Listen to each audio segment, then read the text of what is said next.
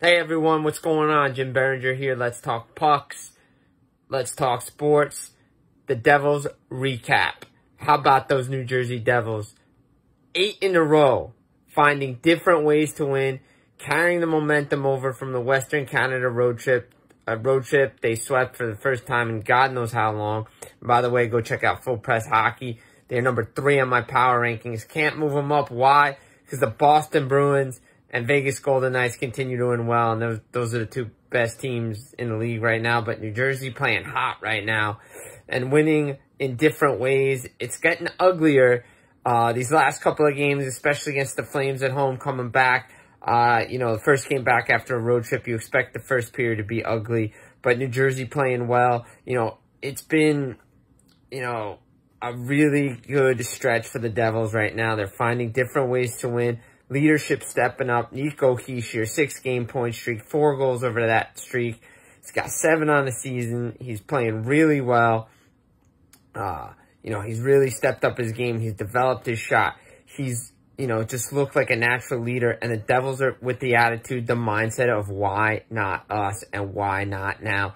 Come in with the right mindset in the training camp. Sick of losing, tired of losing. Miles Wood said after the first game, he did. He's tired of losing. Damon Severson, you heard it last year, said he was tired of losing.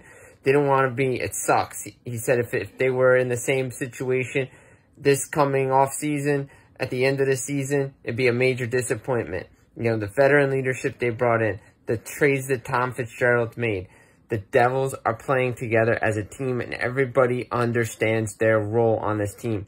You got the energy line of Miles Wood, Nate Bastian, and Michael McLeod, that BMW line, they strike again, that line. They, they bring in the heat now. Uh, as I said, Nico Hischier looks good. The goaltending, which was going to be a question mark this year, has really looked good. Though Vitek Vanecek left this game with a head injury, uh, neck injury. They, they, the Devils said it, it was not an NHL spider, but precaution. He played the third period for most of it, but came out with about maybe five, six minutes left in the period. Akira Schmid comes in. Man, let's talk about what this kid has done since he came into this game. Robbed the Ottawa Senators in overtime probably three, four times. The Sens missed the net a bunch of times, but you know what? He was in the right position to rob Stützle, Giroux, everybody in between. This allows the Devils to go the other way, kill off a penalty to John Marino, which was a slash. You know, some questionable calls tonight, but you know what? The Devils overcame that stuff. Schmid makes the big saves. Guess what? Jack Hughes goes the other way. There's a penalty. Boom. Five seconds into the power play goal. Dougie Hamilton. Game over. Devils win 4-3. So, you know, New Jersey found different ways to win games tonight.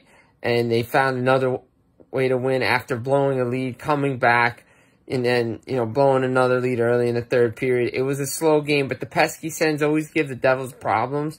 And you know what? Good on the Devils for stepping up, having another character win, finding different ways to win hockey games because that's what you're going to do, especially come the playoffs. You know what?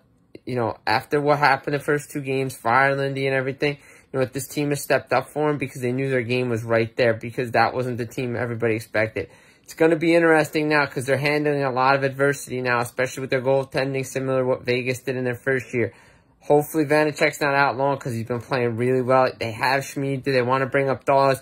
Are they going to go get somebody, Laurent Brossoit, on waivers? So you never know. The Devils could go get him just as a backup plan if Vanecek's out for a long time because you got um, Mackenzie Blackwood with a sprained knee, three to six weeks. He's out. Palat's out, eight to ten weeks after groin surgery.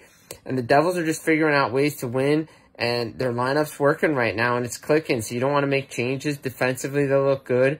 Um, you know, Severson is, is what he is, especially in his role. But again, everybody has a role on this team. Jesper Bratt's cooled off a little bit, but you know what? He, he's right there. Jack Hughes is about to break out, man. He is right there. And imagine if he had a finisher because uh, this kid had more points right now. So things are coming for New Jersey little by little, but another character win to make it eight in a row for the New Jersey Devils who sit in first place in the Metro Division. Who would have thought of that?